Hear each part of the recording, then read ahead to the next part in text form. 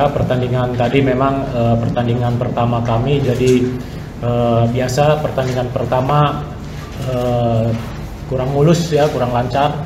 Ya terlihat dari eh, beberapa kali eh, pemain kami sering hilang bola.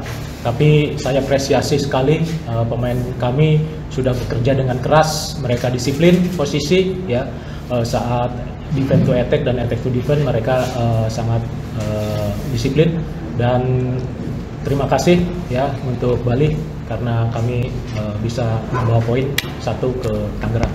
Sebuah pertandingan yang tidak mudah bagi saya, bagi kami mungkin karena kita mendapat pressure di sepanjang pertandingan.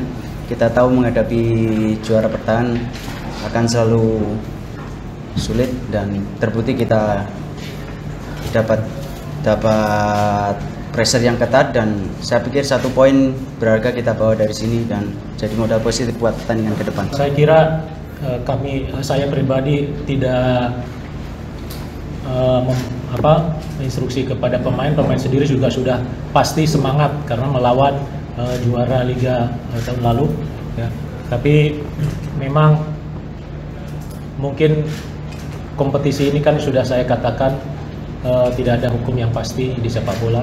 Jadi itu sisi itu yang kesempatan itu yang kami manfaatkan.